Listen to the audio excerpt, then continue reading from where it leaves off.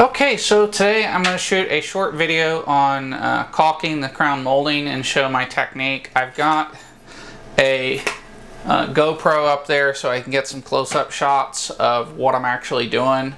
I'm using a uh, 40 year rated DAP Alex caulk. I buy it by the case at Home Depot. It's about two something a tube.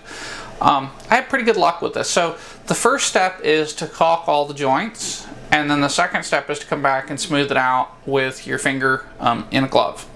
So without further ado, let's get after it.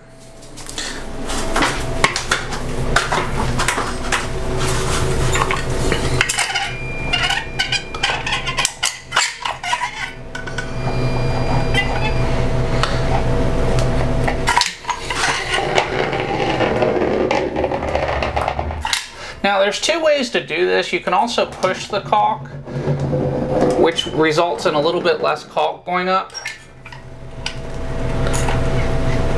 And then I just put a dab of caulk on each of the spots where there's a nail hole. And then I try to do everything I can reach because it means that I don't have to get up here as much.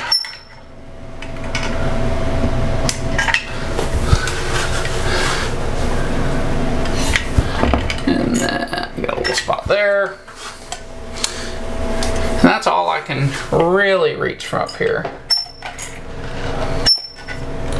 Yeah, I can't really get into that corner with the camera in there. So let me go ahead and get some gloves. Now, if you're wondering what gloves I use, I'm using gloves from Harbor Freight. They are Hardy brand 5 mil nitrile gloves. I get them for $6 for a box of 100, so it's about 12 cents a pair of gloves. They work fantastic, and um, I just wait for them to go on sale, and then I buy five, six boxes at a time. So I also, um, the paper towels I use are the Shop Towel brand paper towels. This is a heavy duty blue paper towel. You probably could use regular paper towels. I just happen to really like these and so I use them.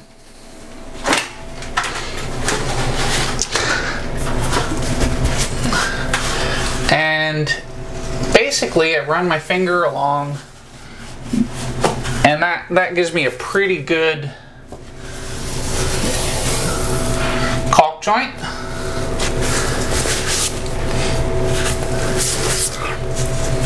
Now, this is not going to be a perfect surface finish, but that's not the goal. The goal is just to kind of fill this in, and then I'll come back and touch it up with paint. Um, and the combination of the caulk and the paint gives a finish that is good enough and it hides the imperfections because nobody's going to get up here and give this a detailed look. Now, that said, I try to get as good of a finish as I can. So, I appreciate you taking time to watch my video, and I hope you found this interesting. I'm going to go ahead and stop the film, and I'm going to go ahead and do the rest of this, and then I'll shoot another video of touching it up with uh, an inexpensive chip brush.